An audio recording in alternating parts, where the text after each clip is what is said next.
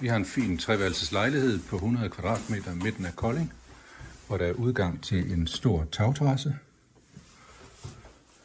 Der er to stuer. Her er den ene. Her er den anden stue.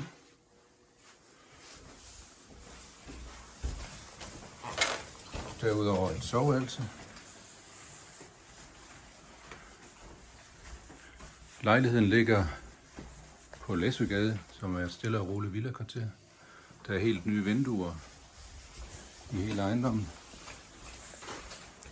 Og der er en indvendig trappe op til lejligheden.